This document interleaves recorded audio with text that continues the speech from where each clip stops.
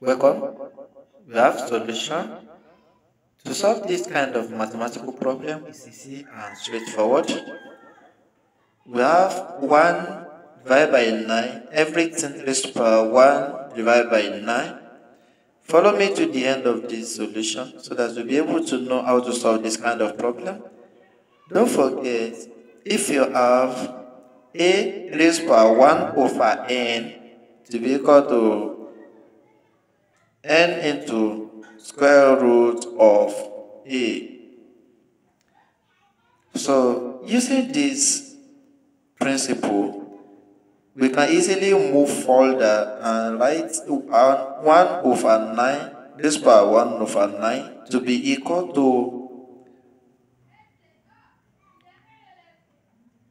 9 into square root of 1 divided by 9.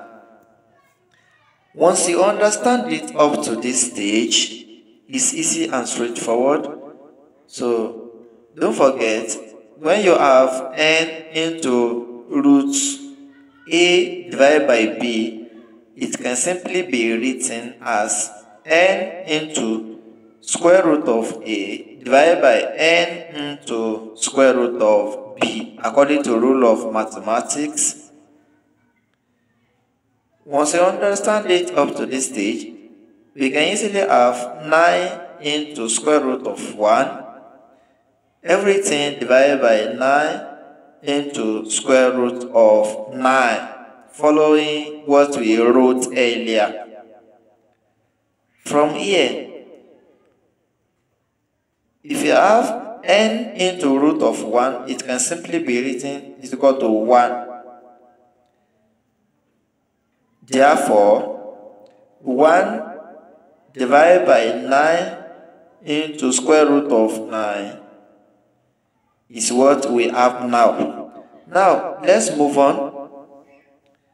Having that, that can be simply be written as 1 divided by 9 into square root of 9 to be equal to 1 divided by n into square root of 9 multiplied by n into square root of 9 raised by n minus 1 divided by n into square root of 9 raised by n minus 1. From here, we have 1 divided by 9 into square root of 9 multiplied by 9 into square root of 9 raised by 9 minus 1 divided by 9 into square root of 9 raised by 9 minus 1. Once you understand it up to this stage, so the above can be simply be written as 1 divided by 9 into bracket square root of 9 multiplied by 9 into bracket square root of, if you do 9 minus 1 is to give you 8 divided by 9 into bracket square root of 9 raised by, if you do 9 minus 1, you have 8, then 9 raised by 8. So if you solve this out, if you'll be having 1 times 9 into square root of 9 raised by 8. That will give us 9 into square root of 9 raised by 8 divided by 9 into square root of 9 raised power 1 according to rule of indices dot 9 raised power 8.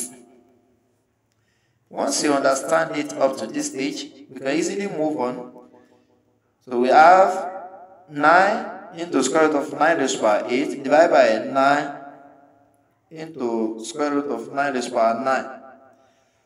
So from here, we have our 9 into square root of 9 raised by 8 divided by 9. Because 9 into square root of 9 raised by 9 will simply give us 9. So this will now give us 9 into square root of 3 raised by 3, everything close to by 8, according to rule of indices. So everything divided by 9. So this will now simply give us 9 into square root of 3 raised power 16. That is 2 times 8 will give us 16. Everything divided by 9. From here, we have 9 into square root of 3 raised power 16, everything divided by 3 raised power 2. So it shows that you can simply rewrite 9 as 3 raised power 2 because 3 times 3 will give us 9. So therefore, 3 raised power 16 divided by 9, everything divided by 3 raised power 2 will now be equal to 3 raised power 16 divided by 9 multiplied by 1 over 3 divided by 3 raised to power 2 multiplied by 1 over 3. So from here, 1 over 3 can be simply be written as 3 raised to power minus 1. Therefore, we have 3 raised to power 16 divided by 9 multiplied by 3 raised to power minus 1. Everything divided by 3 raised to power 2 multiplied by 3 raised to power minus 1. From here, we have 3 raised to power 16 divided by 9 minus 1 everything divided by 3 raised by 2 minus 1. So if you take the SCM, you now be having 3 raised by 16 minus 9 divided by 9. Everything divided by 3 raised by 1. 2 minus 1 equals 1. So now we're having 9 into square root of 3 raised by 7 everything divided by 3. Therefore, we have, if you have 1 divided by 9, everything raised by 1 over 9, it will now be equal to 9 into square root of 3 raised by 7, everything divided by 3. Thank you for watching.